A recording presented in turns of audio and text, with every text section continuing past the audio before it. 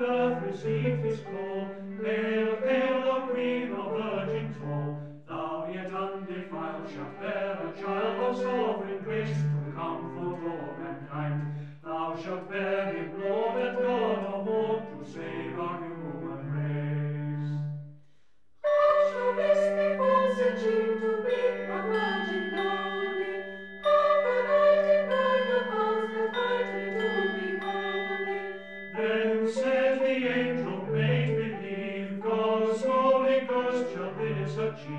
So be not afraid, but now rejoice, rejoice indeed, forever in his sight.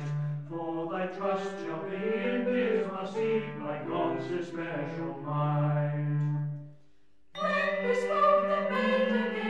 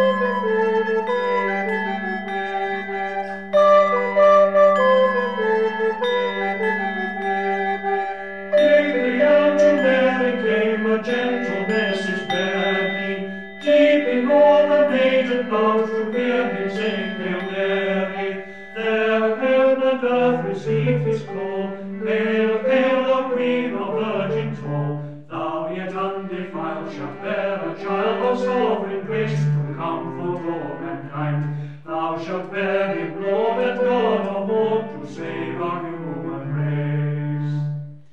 How shall this be false to be a virgin lonely? How can I deny the vows that bind me to be holy? Then said the angel, make believe, God's Holy Ghost shall this achieve. Rejoice, rejoice indeed, forever in his sight. For thy trust shall be in his mercy, by God's especial might. When spoke